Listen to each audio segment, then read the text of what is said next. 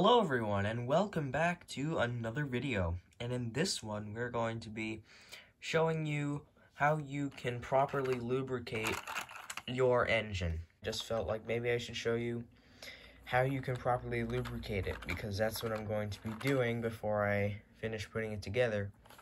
And the video of the new engine should be out by hopefully Monday or Tuesday of next week.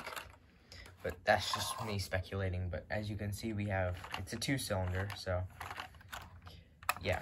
Um, so today I'm going to be showing you how to properly lubricate your vacuum engine. Let's get into it. What we're going to need is going to be your lubricant. Now, one of the things that you always need to think about when you're making your engine is what type of lubricant you want to use. Typically, you can use anything that you have that can be used as a lubricant. Um, this can be WD-40, which is not recommended personally by me, solely because it's an oil-based um, lubricant and it can hurt your engine in the long term. Um, you also have olive oil and vegetable oil, so what I'm going to be using is olive oil. And there's a lot of other things you can use. You can Vaseline and a bunch of other stuff. And to apply it, we're going to use a syringe. Um, could be any syringe, really. Or you can also use a Q-tip. So, I'm going to show you how you can properly lubricate it. First of all, you're going to want to identify which of the cylinder walls you need to lubricate so usually even if it's um, smooth cylinder wall pieces, you usually want to lubricate them because the engine, as you can see, is pretty noisy despite um, not running really and having smooth cylinder wall pieces. So if you use purely bricks for your cylinder walls, you're going to want to lubricate those, or like I've said in previous videos, sand them down and then lubricate them to make the best possible outcome. So you're going to lubricate brick walls like these, and you can also lube these smooth walls, and I'll show you how to do that as well. First of all, what you're going to want to do is get your olive oil and your syringe or your Q-tip and you're going to fill slash dampen the thing to be able to apply it. So what you want to do at this point is, like I said, fill up your syringe with the um, olive oil and you're basically just going to gently apply it to the surface as you can see, it's going on really nice. That's about all you need. You probably can't see it, but I'll get a better angle. Do the same for the other cylinder wall as well. Just like that. So now, this is what you should have. Both walls have olive oil on them. So yeah. Now as for the smoother pieces, as you can see here, you might want to use a Q-tip because it's easier to apply just by rubbing it. So I'm going to do that. A little bit of olive oil on the Q-tip and just rub it across like this on the piece all the way just like this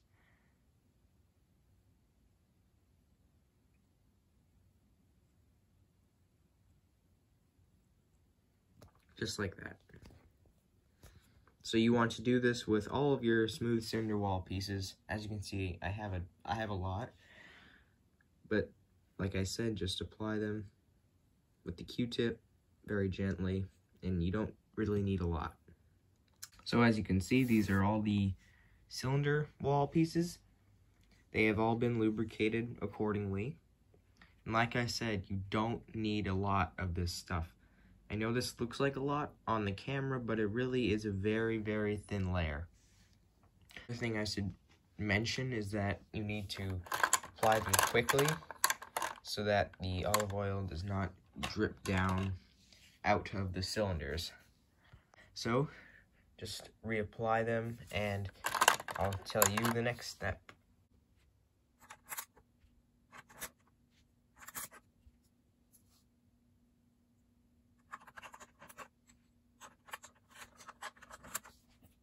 Your hands are probably going to get a little bit greasy, but that's going to be natural as, like I said, we're dealing with um, oil here. So don't be alarmed. You're not going to get hurt. It's completely fine.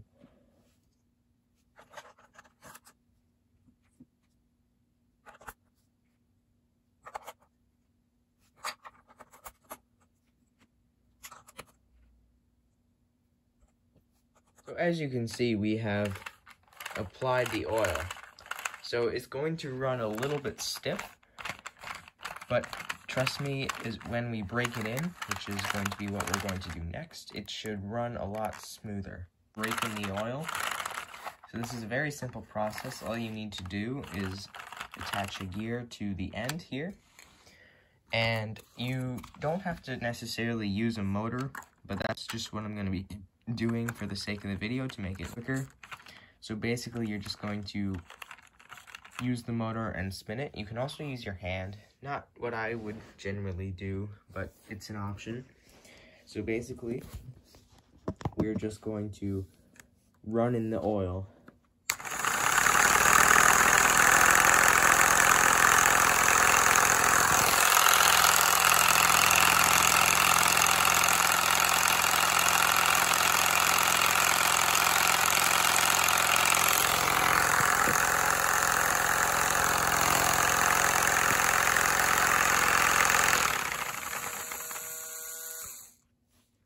So yeah, um, you don't have to do that for too long, just enough to let it sit and really get meshed up. Now there's going to, if you have any excess, it'll probably sit on the piston. It's alright though, you can always clean your Legos. But there you go, um, now you have successfully lubricated the cylinders of your engine. So as you can see, once we have completed the lubrication process, the engine spins more freely and is a lot quieter compared to what it was before. So the benefits of using the oil is obviously to reduce wear on your cylinders and also allow for higher speed. So anyway, um, that's going to do it for this one, and I hope you did enjoy. If you learned something and you want to see more of this content in the near future, please don't hesitate to leave a like and subscribe. Leave a comment.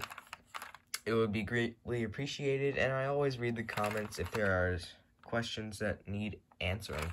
So anyway, that's all for today, and I hope you enjoyed, and I'll see you later.